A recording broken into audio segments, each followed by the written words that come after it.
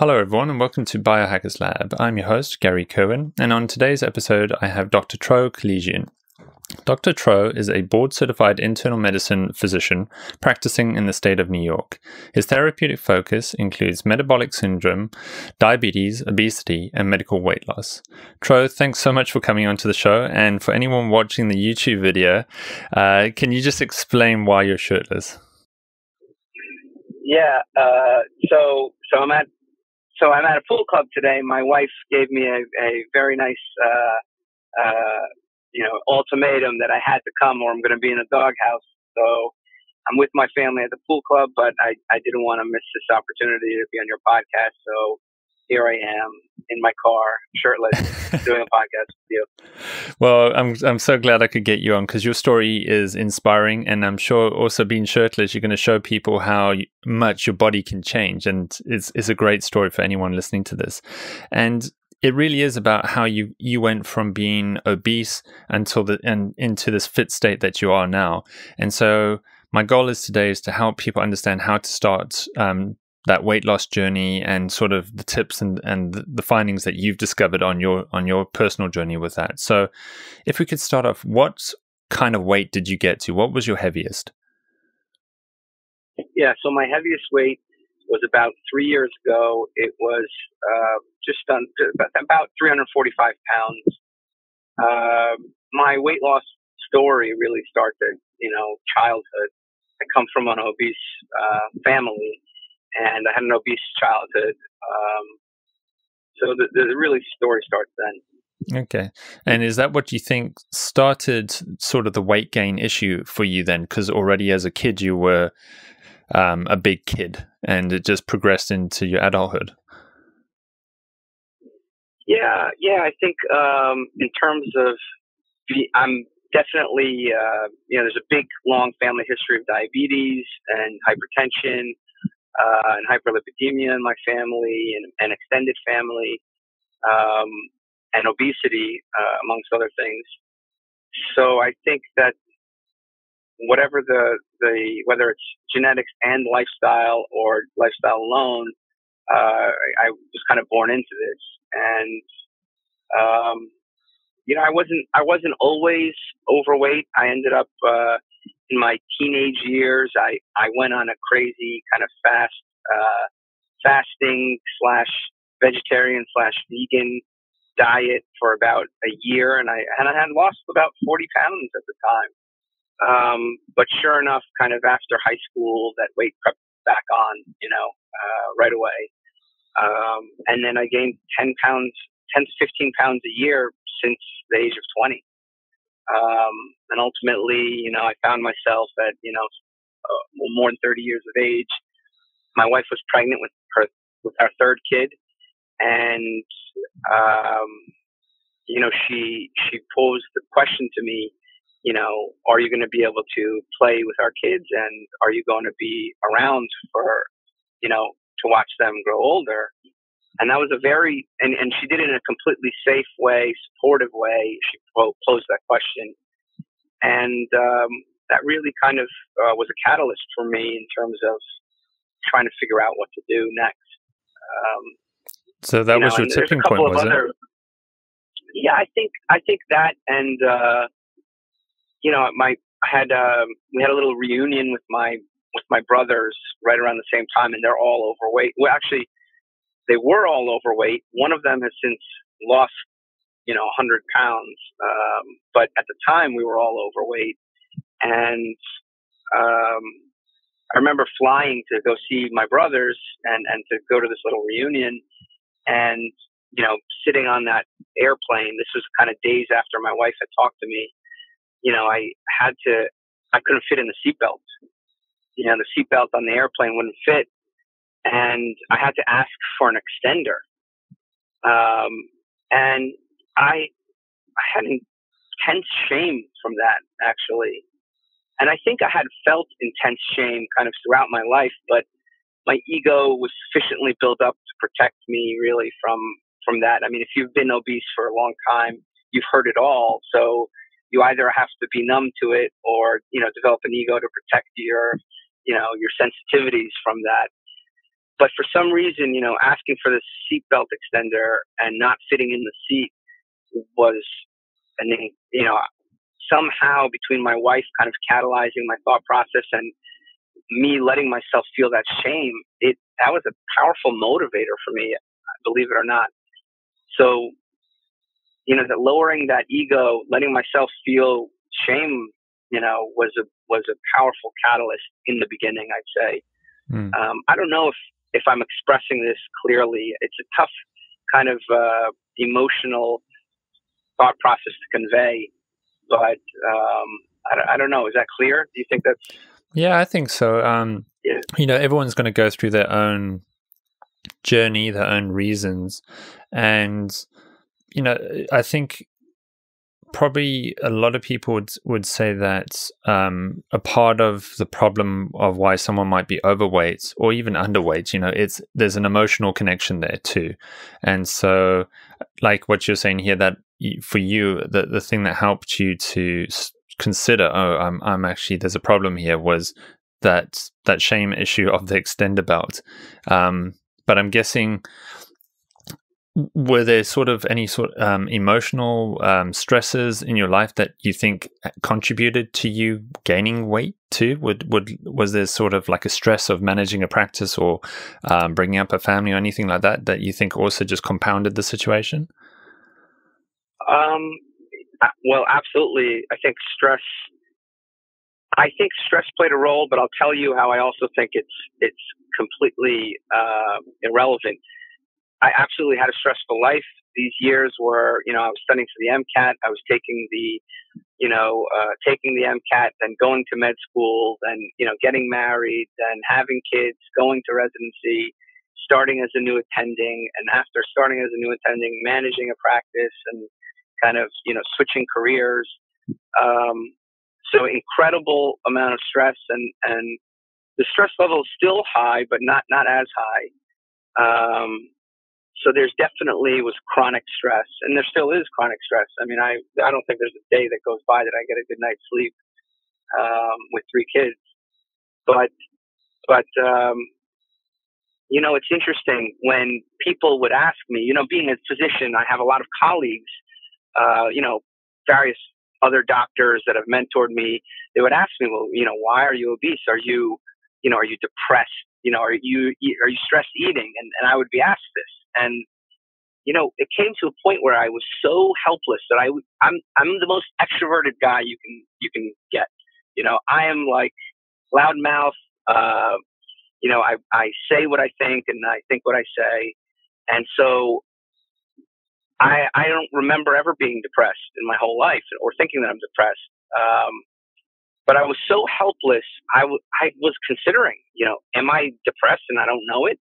You know, am I stressed and I don't know it? Is that the reason for my obesity? I mean, I was so lost as to why I was obese that I was a happy go lucky, extroverted guy considering I was depressed. And this is me as a physician, board certified in internal medicine, you know, uh, knowing that my PHQ9, which is the, you know, the screening test for depression was perfectly fine, still asking myself, is there some emotional reason for my obesity? Um, so I really relate to patients that I help now who are just as lost and and and who who are bewildered why they're overweight. They, they don't know, and and I didn't know. And this is despite all of my training. Um, I didn't know.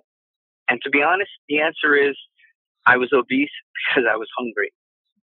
That's the God's honest truth. I was obese because I was hungry, and there was a lot of reasons I think why I, you know, I was always hungry. Um, does that answer your question? Yeah, no, that definitely does. And I think that's a great tip that you've already said there, where there's going to be a lot of people who are struggling with their weight management and you know, they're going to have friends or peers that are saying to them oh you must be stressed or depressed as you said that you experienced. And the person with the weight issues going no i actually i'm pretty happy. I don't you know i'm i don't understand. It's just that as you said that gray area of i don't know why i'm so heavy. Um, but now that leads into where you said you think one of the key components was this hunger issue that you were dealing with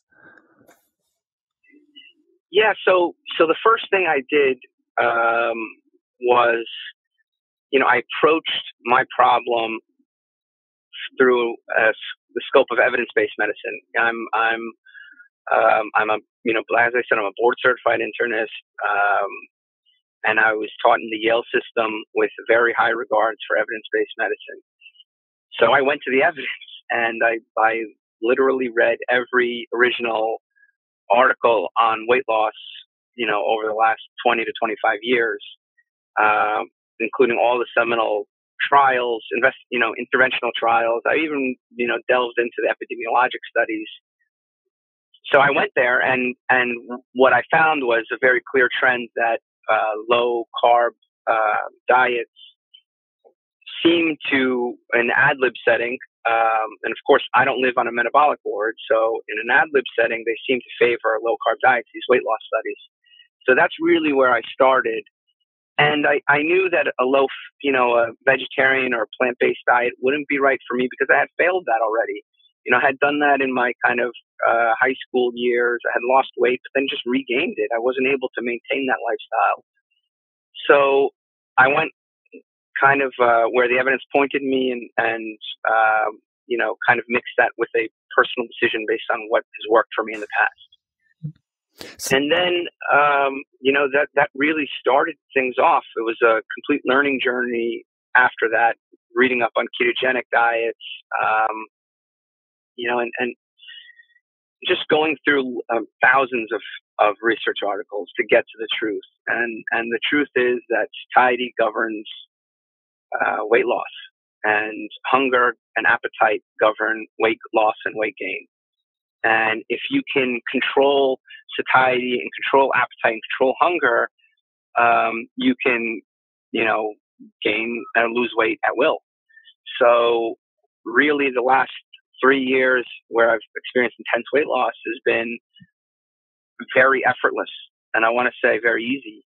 Um, because when you study satiety and how to how to decrease desire for hyperpalatable foods, you know, it becomes like a very easy formula to do. And once you're there, you know, th- this has been the easiest weight loss I've had, and, and now I've maintained it.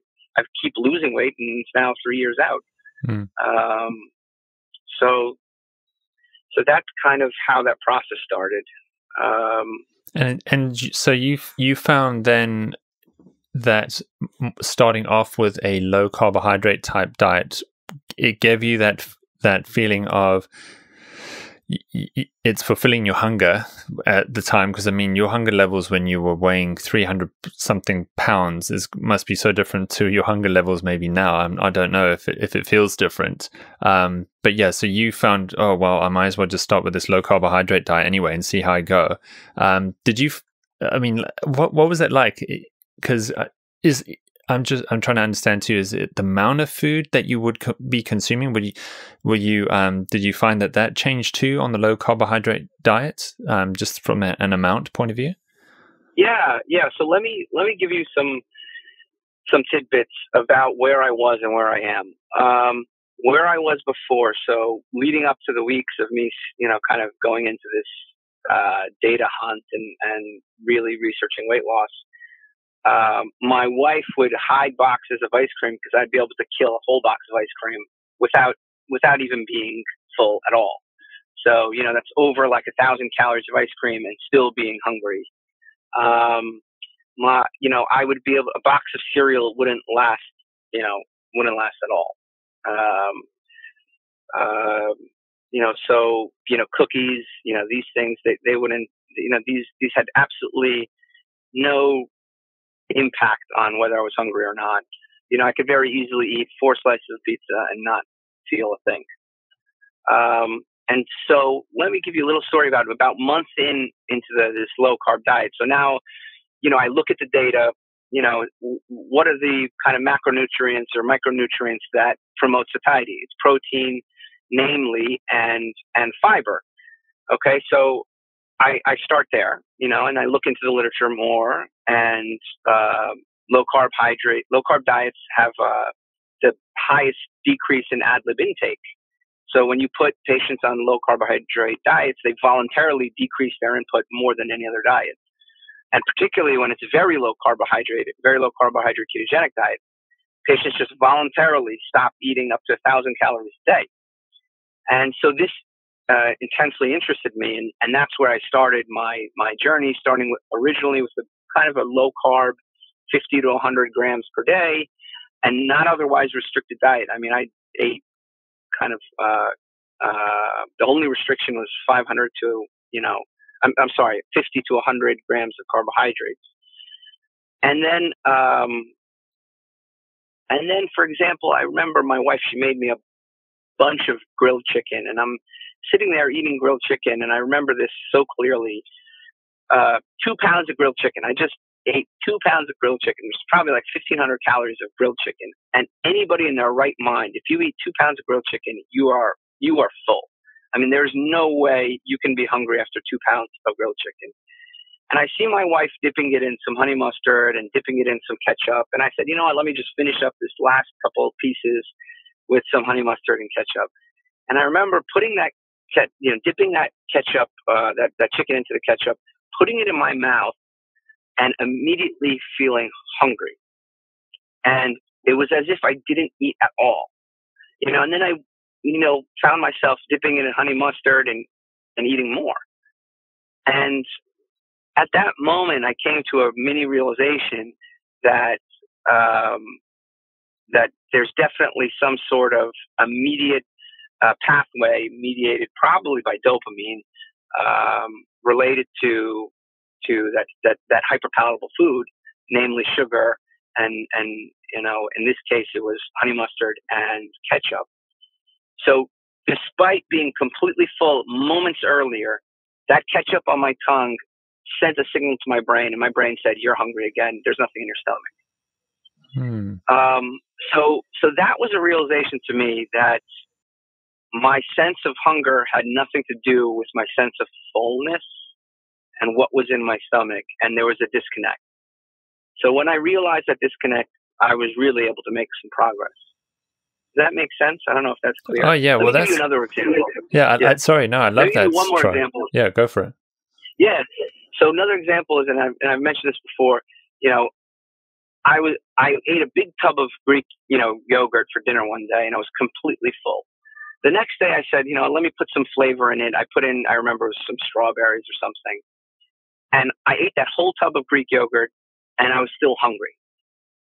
That this was the following day. Normally I can't even finish that tub, but adding those strawberries, that sweet kind of flavor, you know, into that. So the next day I said, let me experiment and let me try that with Splenda. There's no calories, there's no carbs. Let me see what happens with Splenda, you know, sucralose. And I took that tub and normally I would be completely full with that tub. I put Splenda in it I was able to eat two tubs of yogurt by adding Splenda to it, and I was still hungry. No sense of fullness. Whereas if I did not have the sucralose and I did not have strawberries in it, I was completely full. Um, so these kind of observations, paying attention to what's driving my hunger, that really helped me tweak my diet as time went on. Um, beyond, you know, a very low carb modality. Um, yeah, I love know, those high tips. fatty foods. Yeah, there's high fatty foods that do the same thing. It's not just you know it is mainly sugar, but there are other hyperpalatable foods that do it. Okay, yeah. So, I mean, from what I was hearing, there that could be another reason when people think, "I don't know why I'm, I'm not losing weight," but they're putting a sauce on their protein and so they they're trying to eat all this protein thinking that should make me feel full. But as you found just putting some sauce on your protein actually triggered you back into just wanting to eat more and more and more. So that was that was fascinating. Um, but you said now too that um, you there's certain fatty foods that will you feel that would trigger the same effect where you you just can't stop. You just feel like oh no I just want to keep on eating. Yeah, and it's not just me. So, like I, know, I, I can tell you I have a hundred patients who will tell you that, you know, they could eat nuts until, you know, you know, from night to morning. Uh, so salted, kind of fatty nuts. I've never met a person that could eat, you know, three macadamia nuts. Um, so, you know, I, I think that there's general, um, I think there's the majority of people are triggered by sweet foods, uh, chocolates, cookies, cakes, okay, ice cream there's a lot of people also that are triggered by salty, fatty foods, uh, like nuts. Um, you know, is a kind of greatest example of that. Um, so I think that there's a, and I think there's a bliss point, which is high, sweet, savory, and salty. Um, you know, uh, or you know, like imagine Doritos. I don't, I've never met somebody that could put down a bag of Doritos. Um, you know, and and they engineer these foods really to hit that, you know, sweet, you know, sweet, savory, crunchy, you know, you know, they they call it, you know, uh, appealing to their best customers, but it's really, you know, how can we create food addiction and how can we exploit uh, food addicted, you know, people who have a tendency towards food addiction. Mm. Um, so, for the most part, I think sugar is, is a problem, but there are other, you know, clearly cases of, you know, I have patients that binge eat on pizza. They eat pizza until they, you know, until it hurts, you know, a whole pie or or so. Um, and you know, pizza is fat, salt, and carbs. um, so I don't I don't think it's food addiction and binge eating per se is restricted to carbohydrates and sugar. I think the majority of the cases are carbohydrates and sugar, but they do extend to salty and savory foods as well. Hmm. Well, I think uh, in my a- case, uh, you know, not not so much, but it's mainly the sweet the sweet foods. Well, I think that's also again great tips here because um, I'm sure anyone listening to this who's struggling with a weight issue can relate to that, thinking, "Oh, I don't have a sweet tooth, so it's not that I'm binging on desserts."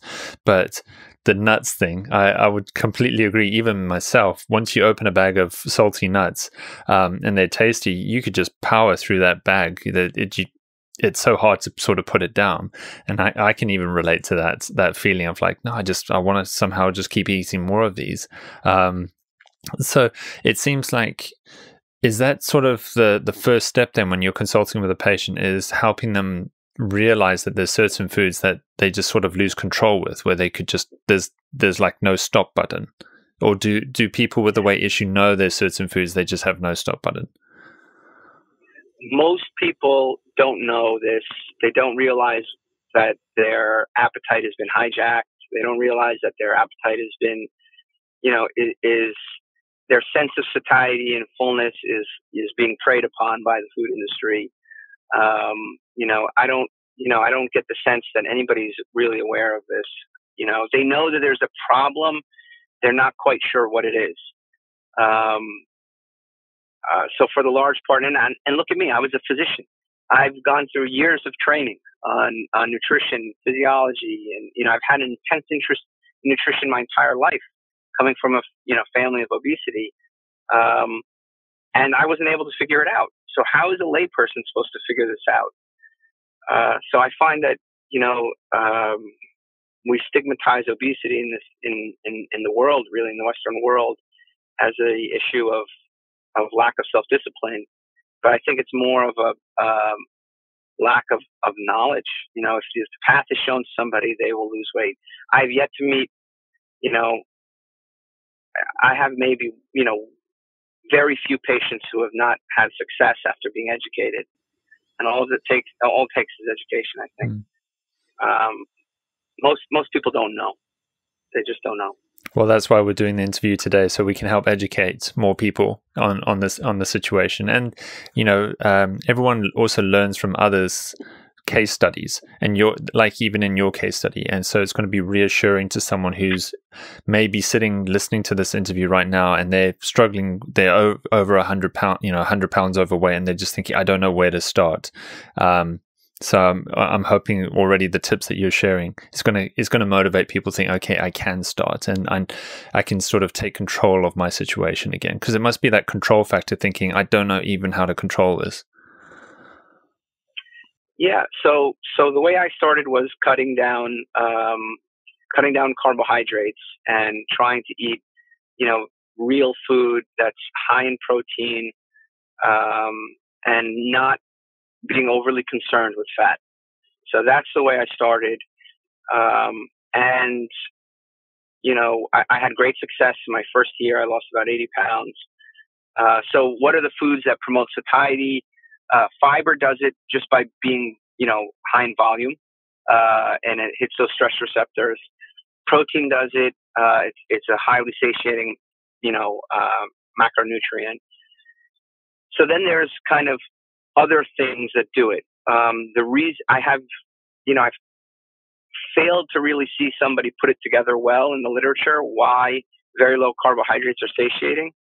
But I have three or four mechanisms that I think uh, explain it. Um, one of which is is the glycemia. Uh, if you take a patient, an obese patient, and you give them a little bit of insulin, just a little bit of insulin, and you examine them on fMRI, uh, which is a functional MRI, we kind of see what part of their brains light up. We find that the the desire for hyperpalatable foods, which is desire for like, you know, very tasty foods, significantly increases just by causing a tad bit of hypoglycemia. So if you have hyperinsulinemia with a very tad bit of hypoglycemia and you're obese versus being normal weight, you're going to desire hyperpalatable foods more than that normal weight person. Um, and and this has been demonstrated uh, um, in functional MRIs. So when you improve that glycemia with a low carbohydrate diet, that's one issue that's getting taken care of. That glycemia uh, stabilizing off is is you know decreasing that desire for hyperpalatable foods. So that's one. Two is being in a ketogenic state. Being in a ketogenic state uh, is associated with um, increased satiety hormones, CCK, preserved ghrelin. These are all satiety hormones that are preserved. So that's three. And the, the ketosis itself may play important roles um, in kind of uh, um, neuro uh, receptors uh, that are in kind of inhibitory, similar to some of these medications that that uh, are used for binge eating or used for um, weight loss. You know, like uh, in the United States, uh, it's you know one of them is is uh, topiramate. Um, you know, we use that for binge eating, and it seems like and and there's other medicaid. You know, there's uh, naltrexone, which is actually uh, used in opioid uh, overdoses, but it also works in in binge eating. So it seems like ketones play have an inhibitory role uh, directly on the brain. Um, and then the last thing is is uh, you know a low carbohydrate diet compared to a low fat diet preserves peptide YY, which is a a neuro you know kind of a hormone that uh, promotes satiety. So if you take people and you put them in a Chinese buffet and you give them peptide YY, you know the ones that get peptide YY will eat like 25% less than the ones who who don't get it. And and this has been compared to low fat diets even 12 months out, and low carbohydrate diets have more of these satiety hormones, and ketogenic diets have more of these satiety hormones. So I, you know, after l- learning this, you know, I'm like, I have to go very low carb, and and then, um, you know, somebody challenged me to go uh, no carb. You know, it was actually uh, Shawn Baker, who challenged me to go no carb because I, you know, I didn't quite believe in the concept of fat adaptation, you know, beyond a, a, a low carbohydrate diet. And oh boy, was I wrong and was he right. Um, I went no carb for a month and, um, you know, it, it was miserable month. I like re-went through keto flu, you know, which is the symptoms of kind of, uh, um, you know, uh, uh, carbohydrate withdrawal essentially. And I remember coming out of that month, and this was about two years ago, and incredibly, you know, I was cursing his name because I felt terrible. And um, and then I remember, you know, my wife, she she made me like this high fatty, you know, meal. Like a, she made some bacon and eggs. And that whole month, I had been eating pretty lean meats. And I remember specifically, it was like four weeks in, I eat this massive fatty meal and I have like a burst of energy, like this amazing sense of energy comes over me. And, um, so that was another kind of mini realization that, um, that fat intake, that you cannot lower, you cannot just eat protein. You cannot do like a protein sparing modified fast forever. You cannot do a very low carbohydrate, high protein diet forever. At some point, your body's going to want and crave and need a little bit of fat. And um, you know, and, and, and there's, there's plenty of data to support this in the literature, uh, this concept of fat adaptation. Um, so that was another kind of learning point for me. So this is yeah, that's interesting to hear. So you were already on a low carb diet and eating that way, and then you challenged yourself with the the, the Shawn Baker carnivore diet, and right. It, it, so what I'm hearing too is that you found uh, something that you learned is don't just eat lean meats when you go on an all meat or carnivore diet. That's actually a problem. You you need you want to be getting fatty cuts of meat. Well, so I would say if you're if you have the belief that you're trying to lose weight and you're going to eat, you know, lean cuts of meat, that that's not a good idea. I think you have to, you know, eating a month of grilled chicken is not tenable. Um, you know, you clearly you can go the opposite route and overdo the high fatty cuts of meat and and eat all bacon all day long and then not gain not lose any weight. So, and you know, Shawn Baker eats like four or five pounds of, of ribeyes, and and he's pretty much weight neutral. Um, so I think when I counsel patients who are, you know, eating too few calories or not, or focusing on solely eating lean meats or only eating egg whites, I think that's a problem. But at the same time, I think the other side of the coin is, you know, eating, you know, bake, a pound of bacon a day. Um, I don't think that that's necessarily in line with a with good weight loss strategy over the long term. Um, so I think there's a Goldilocks, and it depends on the needs, obviously. Yeah, well, that's um, a great tip you know, already there. I think Tro, um, that you were saying because I'm, I'm sure people will do certain things in extreme. It's our natural behaviors. Like I'm either just the lean meat kind of person, or I'm just I want all the fat kind of person. Um, but as you as you said, you know, if you have all the all that fat, that could cause a problem from a weight loss point of view. Um, and then you've got the the the feeling of satisfaction and energy levels if you're only eating lean meats. Um, so as you said, you got to find you got to find that sweet spot for your physiology. Yeah, a- absolutely, and um, and I think you know going into the literature, especially for for kind of ketogenic diets for for athletic performance, um, you know, this concept of fat adaptation is very real. Uh, we see it in marathon runners. We see it in in um, you know in CrossFit athletes, um, and it takes at least you know four to six weeks of a very low carbohydrate diet, and uh, I'd say probably up to three months. Um, know I've been doing a lot of training um, uh, and and kind of uh, making some athletic goals for you know meeting some athletic goals for myself, and uh, I can tell you that fat adaptation improves over time. Um, that's something I've noticed, you know, res- regardless of, of overall conditioning. Um, in terms of muscle soreness and recovery. Um, these and these are all kind of supported by the literature. You know, gymnasts say that they're not as sore. Uh, you know, CrossFit athletes don't have any decreased performance and increased recovery times. Marathon runners with you know improved uh, fat oxidation numbers and ability to run you know marathons without you know any fuel intake whatsoever. Um, so yeah, I mean, you know, Shawn kind of got me started on on on that. I have to give him credit for that.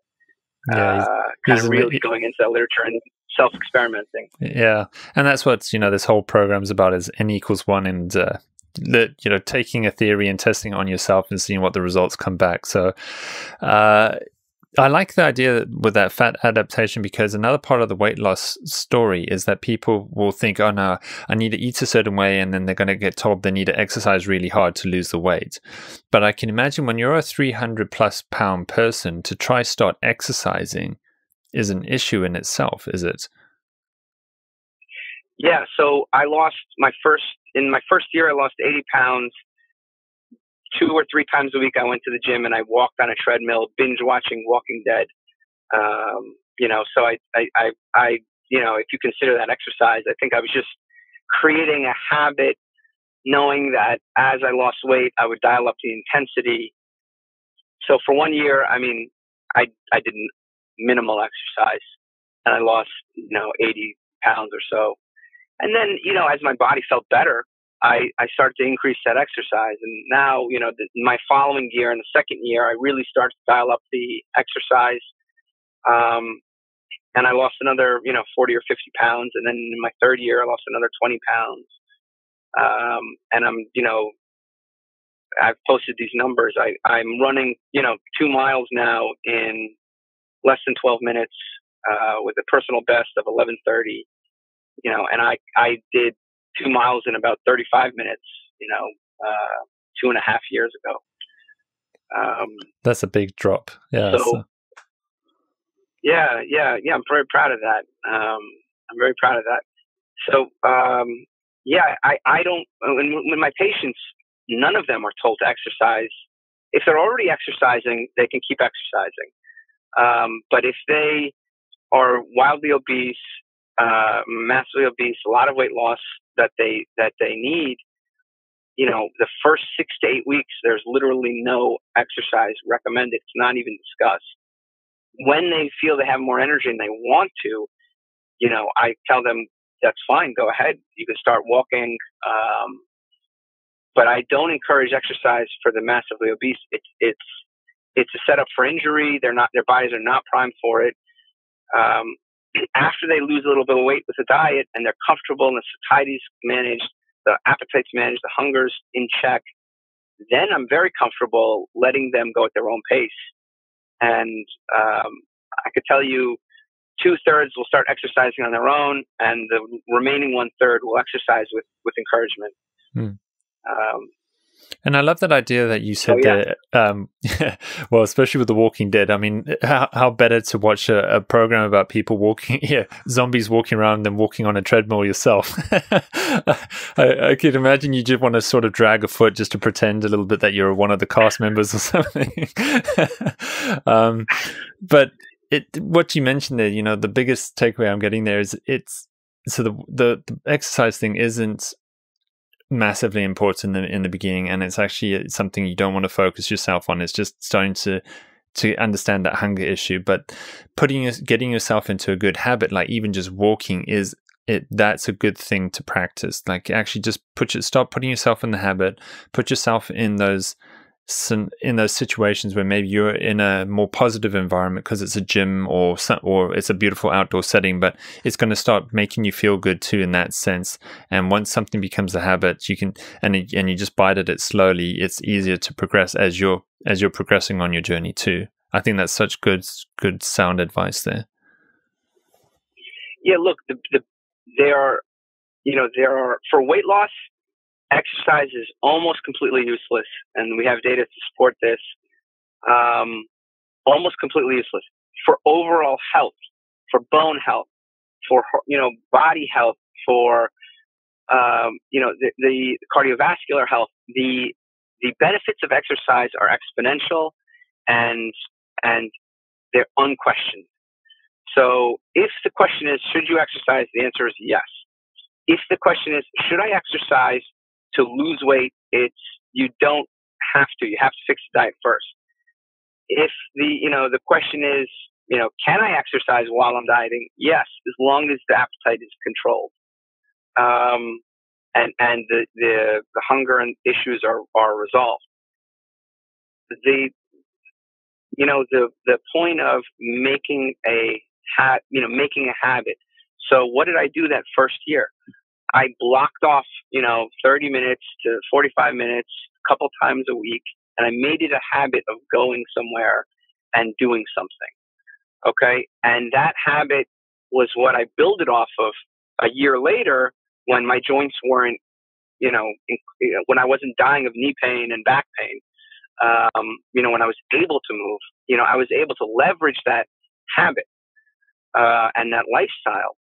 So yes, 100% believe in the power of creating positive, um, you know, changes to your lifestyle. Exercise is a is an important component of changing the lifestyle, improving our lifestyle. Um, making a habit, whether it's walking or, or doing a stationary bike, these are all things you can do, or just doing, you know, body weight exercises in the home. Um, you know, those are all uh, significantly important.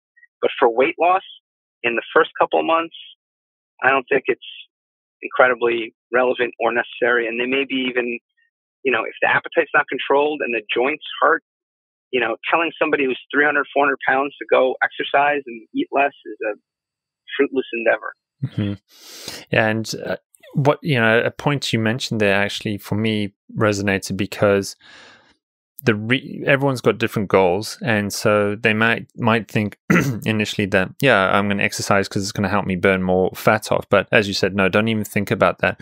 It, you know, think of exercise as this as this really healthy thing that's going to help you with your bone health, your muscle health, and all these other things. But in the spectrum of issues right now, if you're morbidly obese, that's not, we're not, bone health is not like through exercise is not what we're trying to address first. We actually have to get the hunger, get you on that weight loss sort of scenario through the food first. And as you're feeling better, as you're getting motivated, as you're seeing the positive change in your body, you're probably going to get inspired to go i want to i want to implement this weight this exercise thing now even more because i want to take care of my bones and my muscles and all these other elements. So i, I like that idea you know just to change the, a person's mindset to go right now the scenario you're in don't even consider that because you know we need to do, this is the bigger issue we need to deal with first.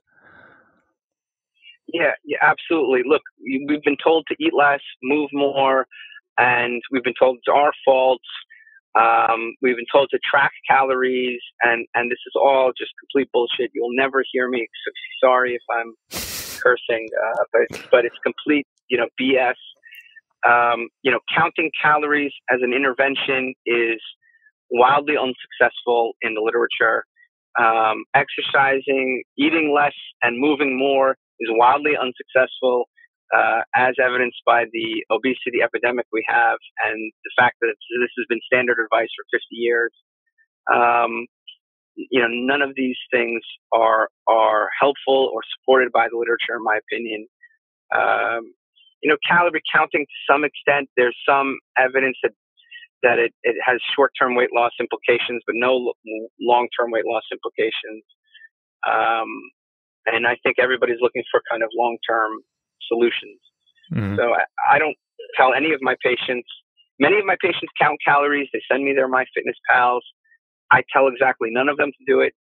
They don't need to track any calories. The first six weeks we spend focusing on hunger and appetite and and satiety. And I, you know, I love that, Tro, because uh, I, having grown up in Africa, uh, you you sort of in a scenario where you go, well, imagine you were placed in a in somewhere where you didn't have a cell phone and you didn't have access to like a MyFitnessPal that you could actually track all this stuff.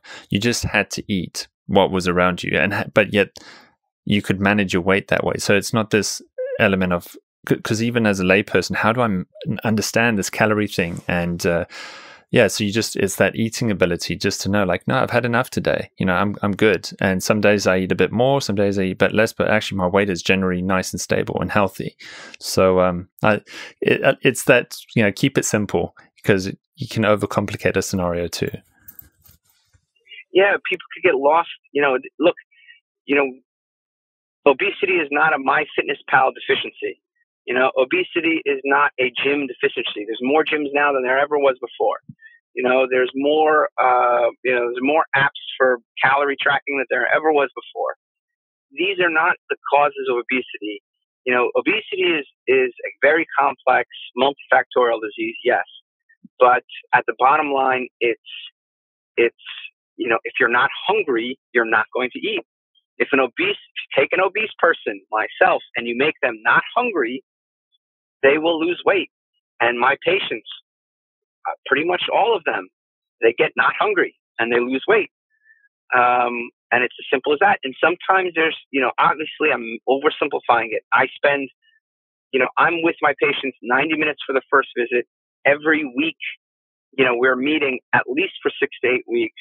So this is a very intense uh, process in the beginning and and it's a relearning of of how to take control of your appetite and your hunger and your satiety. Um, but it's this is the only way I see viable. I, I don't see any other way to lose, you know, hundreds of pounds by, you know, by exercising or eating less. It's it's in fact I think eating less is harmful. Um, so And as you found, that. yeah, and as you found, you've managed yeah. to not only lose all that weight, but the key element is keep it off too, because you don't yo-yo straight back into a bad place again. So I'd be interested to find out where are you at now dietary wise. So you mentioned that you were you tried Shawn Baker's carnivore diet. Are you still on a carnivore diet, or are you on a sort of like a modified no, no, one yeah. version of it? What, where are you at now? Yeah. So um, in the first year, I, it was just a standard low carbohydrate diet. I ate, you know, Greek yogurt, and I would have cold cuts. But you know, I've really focused on reducing. So where I'm at now, I did that for a month because you know I was challenged to do so, and I and I did it. Um, in terms of where I'm at now, I I eat uh, vegetables. I eat you know uh, berries. I do have nuts. I eat a lot of meat, fish, uh, poultry, uh, seafood. Um, so like I think any given day you'll see that I'll either have steak or salmon or cod or shrimp. Um, I'll eat eggs a couple times a week. I've I I have actually decreased my processed food in my processed meat intake. So I I I'm not heavy on bacon. Bacon is like a treat. Um, I don't really do any cold cuts anymore.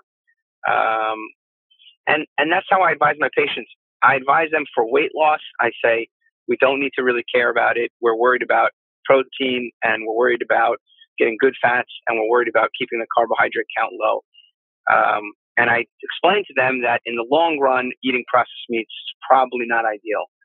Um, and so that that's been my approach is that for weight loss, I kind of uh, turn a blind eye, and then when the weight loss stalls or or when the weight you know the goal weight is achieved, and in my case my goal weight is achieved, you know, really we want to have an optimal diet. And I, I think, you know, it looks like the evidence leans towards processed meat probably not being incredibly helpful. And that has to be mediated by the, the nitrates and the, you know, the, the, the celery powder, which has nitrates in it. Um, so my diet is a very low carbohydrate diet uh, with probably 30 to 50 grams of carbohydrates a day. Um, and it does not have a meat or animal product restriction. The only thing I restrict maybe like I just limit processed meat. Mm-hmm. Yeah, so it's. Not, i don't feel strongly about that either. So, but I but I think the evidence points that way. So that's mm-hmm. what I'm doing. Yeah. Well, again, it's a journey, you know, a journey of discovery as to what your sweet spot is and what you feel best on too. Um, so when you were talking about the the honey mustard and the ketchup, has that changed yeah. for you? Do you still have that as a trigger? Do you feel even now, three years later? Hundred percent, one hundred percent. If I put on, if I, if I have a little bit, you know, it's it's funny.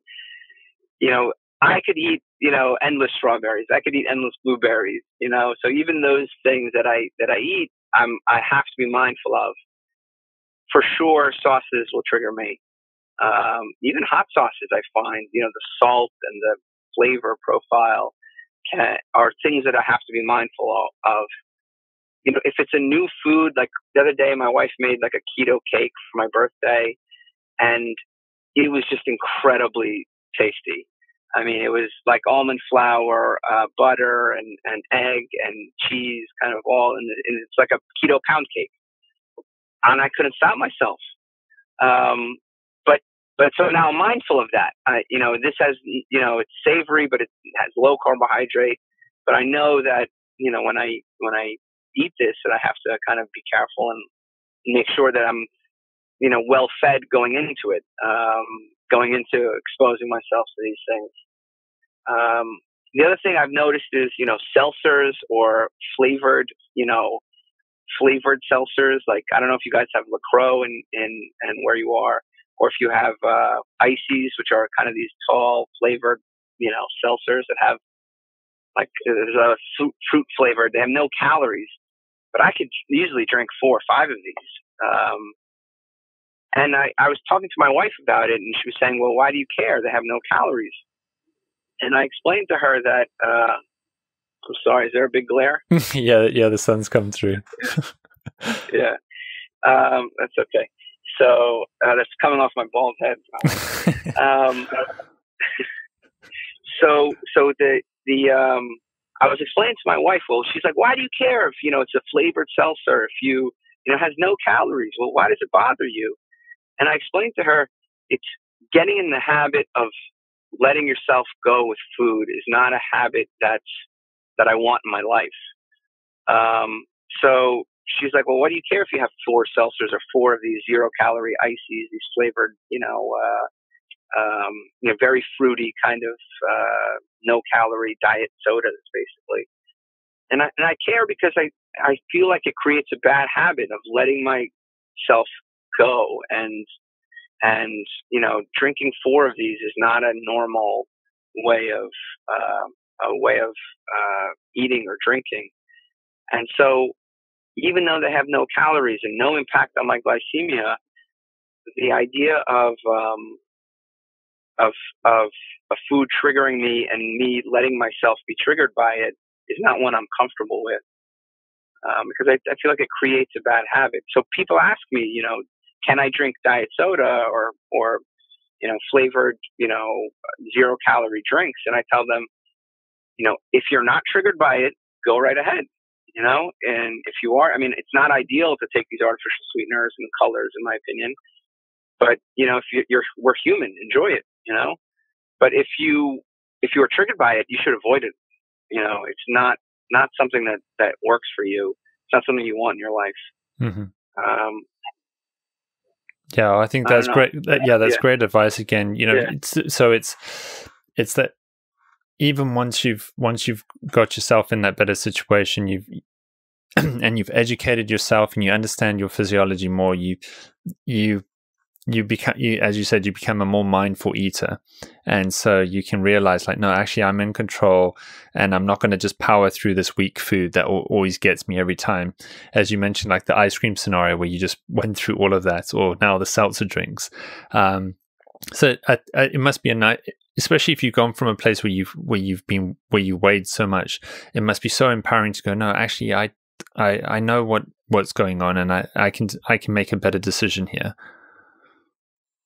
yeah, well, sometimes I can't, you know, like like I had four of those icy drinks. You know, when I realized there was a problem, my you know, my wife had got a box and I didn't think anything of it. And then a couple days later I see her buying four boxes. And then a week later there's like, you know, six boxes in the house. And I'm like, wait a second, what's going on here? She's like, Oh, they keep running out. I'm like, Oh, wait a second, you know, what's going on here, you know? And and that's when I started really paying attention. So I was kind of I was originally caught off guard. And yeah, you have to be vigilant. You know, you have to kind of pay attention to yourself. And now I very clearly know I've articulated it and thought about it and seen it kind of midway. But, you know, in the beginning, I was just like, oh, this is sweet. It's got no calories. I don't need to think about it. But, um, but now I've thought about it and now I know to be careful and, and to kind of think twice. And the same thing with that keto cake. You know, the first time I had it, I was like, "This is great. Give me more." But now I'm, you know, I I'm have to.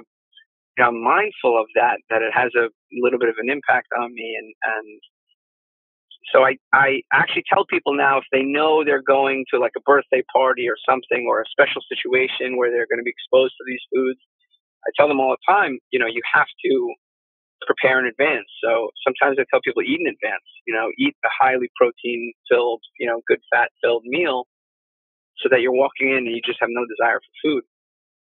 And the way I explained it is, you know, have you ever gone shopping hungry? You know, you end up buying everything, you know, and have you ever gone shopping, you know, without, with, with being completely full, like you just ate dinner. It's like you look at things and you just don't want them.